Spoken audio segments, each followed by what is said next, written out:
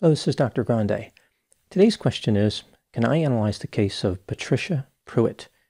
Just a reminder I'm not diagnosing anybody in this video, only speculating about what could be happening in a situation like this. If you enjoyed this video, please like it, subscribe to my channel, and consider supporting me on Patreon. I will put the link to Patreon in the description for this video. First, I'll look at the background of this case, move to the timeline of the crime, then offer my analysis. Patricia Ann Prewitt was born on July 3, 1949, and grew up in Lone Jack, Missouri, which is about 34 miles southeast of Kansas City. Her family ran a 640 acre farm. In seventh grade, Patricia met a classmate named William Edward Prewitt. He went by the name Bill. He had been born on January 10, 1949, so he was about six months older than Patricia. Several years after meeting, when Patricia and Bill were both seniors in high school, they had a class together. They ended up dating. After graduation, they enrolled in the same college. Patricia and Bill married on August 8, 1968, and would go on to have three daughters and two sons Jane in 1968, Sarah in 1971, Matthew in 1973, Carrie in 1975, and Morgan in 1977. Bill graduated with a degree in education and industrial arts. He worked in a lumber yard. Patricia dropped out of college and took care of the children. In 1976, the couple borrowed $60,000 and purchased a lumber yard in Holden, Missouri. They ran the lumber yard together. The Prewitt family moved into a house which was also located in Holden. Now moving to the timeline of the crime. On February 18, 1984, at about 3 a.m., Patricia made her way to her neighbor's house and told him that somebody pulled her out of bed and she believed that her husband Bill had been hurt. The neighbor was a former law enforcement officer. It took him about an hour to calm Patricia down. After this, he drove to the home of a reserve officer at the north end of Holden. This officer then contacted the police chief. The neighbor and the police went to Patricia's house. When they entered, they found that 35 year old Bill had been fatally shot two times in the head. Here is the story Patricia supplied to the police. At about 2 a.m., she and her husband returned home after spending time socializing with friends. There were four children in the house that night. Their oldest child, Jane, was at a friend's house. After Patricia and Bill fell asleep, Patricia was awakened by a thunder like sound. At this point, a mysterious intruder grabbed her by the hair and pulled her out of bed. She said that he wasn't big and he wasn't small. She did not recognize his voice. He smelled like cigarettes and motor oil. Patricia did not know his identity. She could feel something sharp was being held against her throat. The mystery intruder attempted to commit an assault of a sexual nature, but he gave up and left the house. After this, Patricia checked on her husband. She heard gurgling noises. She went to check on her children and realized they were asleep. Patricia went back to the bedroom to check on her husband, but she could not see him well because the lights would not come on. The phone was not functioning either, so calling for help was not an option. She went outside the house and retrieved a flashlight from a pickup truck, then returned to the bedroom. Now, with the benefit of this light, she could tell that there was blood on Bill. Patricia took the children outside to a vehicle and told them to lock the doors. She once again went back inside the house and checked on her husband. He was cold to the touch. Patricia drove to the home of her neighbor. Here's what the police found during their investigation. The phone line to Patricia's bedroom had been cut, and power to the entire house had been shut off from a breaker box in the basement. Bill Prewitt was killed with his own 22 caliber rifle as he was sleeping. The rifle was found three days later in a pond on his property. Patricia initially lied to the police and said that she had never been unfaithful, but after being confronted with evidence to the contrary, she admitted to having three affairs. She claimed that she had the affairs because she had been the victim of an assault of a sexual nature in May 1974. When she told her husband about the attack, he became distant and would no longer have sex with her. On February 24, 1984, six days after Bill's death, Patricia was charged with capital murder. She was offered an incredible plea bargain. She could plead guilty to reduced charges and only serve seven years in prison. She refused to take the deal. Her trial started in April 1985. Patricia was convicted of capital murder on April 19 and sentenced to life in prison with the possibility of parole after 50 years. She was released on bond as she appealed her conviction. When her appeal was denied in April 1986, she started her prison sentence. Patricia is eligible to be released in 2036 at the age of 86. At the time making this video, Patricia is trying to convince the governor of Missouri to commute her sentence. She is the longest serving female inmate in the Missouri prison system. Now, moving to my analysis. Patricia Prewitt has maintained her innocence. Many people believe that she is not guilty. The state, of course, has another opinion. They believe that she murdered her husband as he was sleeping. This brings me to the question Is Patricia guilty of murder? Let's take a look at the evidence both for and against the idea that she is guilty, starting with the inculpatory factors. There was no forced entry into the house that Patricia and Bill shared. The police only found one set of tire tracks near the house, which were from Patricia's vehicle. They were made when she drove to the neighbor's house. It had been raining on the night of the murder, but the mysterious intruder did not leave any footprints. The murder weapon was a 22 caliber rifle, which was found in a pond.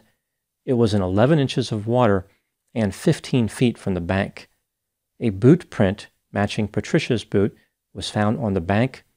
When the pond was drained, another print matching her boot was found on the bottom near the rifle. This semi-automatic 22 caliber rifle was owned by Bill. He normally kept it unloaded behind a chest of drawers located in a bedroom closet. A box of 22 caliber long rifle cartridges were found in a chest of drawers in the bedroom where Bill was killed. Two cartridges were found in Patricia's jewelry box in the same bedroom. Patricia claimed that after she was attacked, she could hear Bill making gurgling noises, but this was not possible. He was shot in the temple and in the back of the head. The shot to the back of the head would have killed him instantly. Patricia had cuts on her throat which were described as superficial lacerations in a parallel pattern. They were not much more than scratches. Bill had about $93,000 worth of life insurance. The police spoke to Patricia's affair partners. One of them, John Hancock, said that he had an affair with Patricia that lasted for seven months. Patricia told John that she wished her husband, Bill, would be killed in a motor vehicle collision or in some type of accident. She revealed that there was a gun in her house and thought about killing Bill as he was sleeping. A second affair partner, Richard Hayes, said he had sex with Patricia three times. She asked Richard if he knew of a way of getting rid of Bill and stated that they had plenty of insurance money which would allow Richard to build a lumber yard of his own. It was like she was offering to pay Richard to kill her husband. A third affair partner, Ricky Mitz, said that he had sex with Patricia about once a week over the course of several years. Patricia told him that Bill did not satisfy her.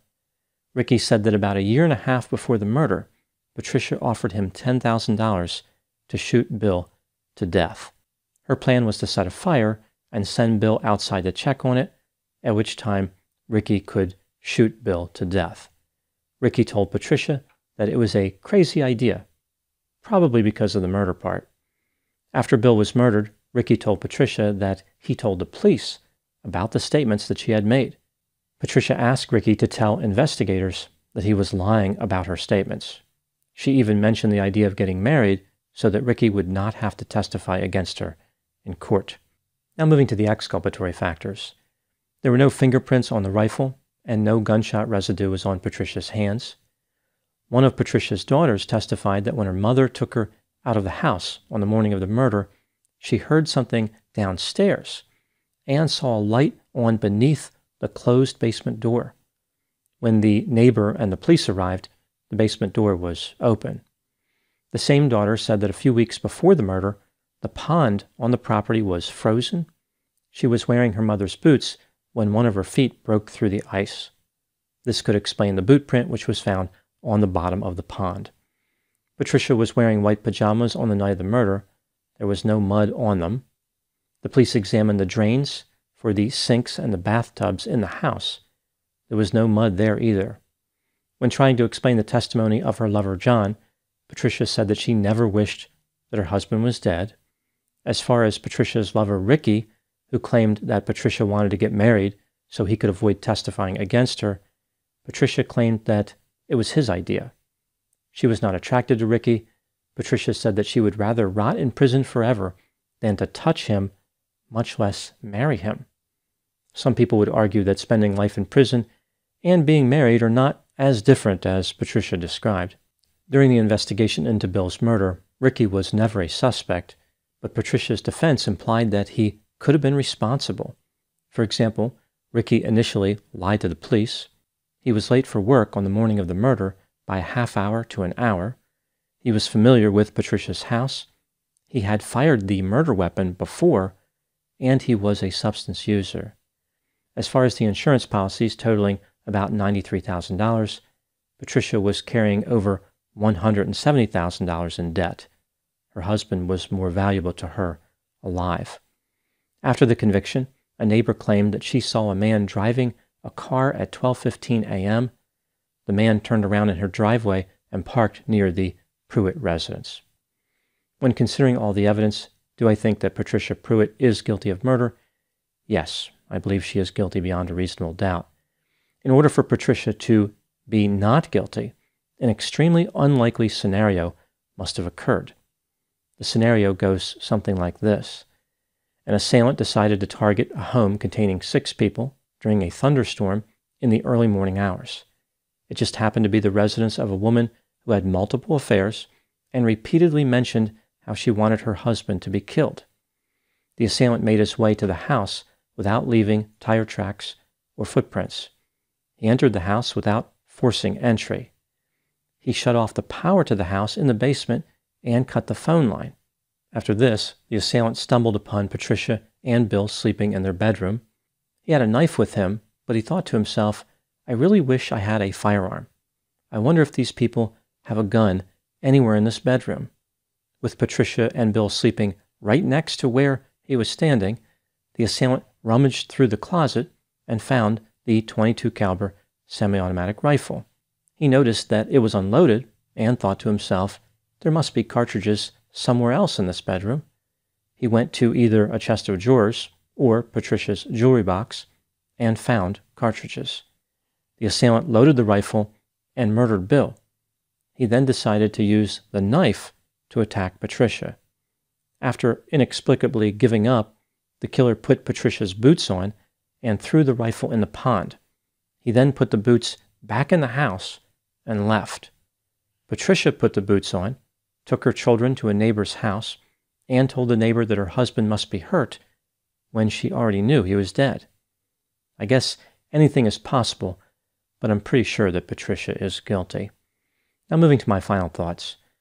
One amazing element of this case is how Patricia has been able to convince so many people that she is innocent. Why do people believe her given the strength of the evidence against her? I think what happens here is that over time, people view a murder differently. Initially, everybody feels sorry for the victim and mad at the killer. But over the course of many years, the victim is forgotten, and all people hear is the incessant complaining of the killer. Patricia has many concerns about being in prison She's not happy with the book selections available. She claims to have health problems. And in general, she's miserable. She latched onto this idea that the state unfairly brought up her infidelity and convicted her based on her moral failings and not the evidence. Patricia wants people to believe that she only had affairs because she was the victim of a prior attack and her affair partners were lying about her offering the money to kill her husband. I think that Patricia Prewitt has simply continued to manipulate people from prison. She repeatedly demonstrates why she should never be released.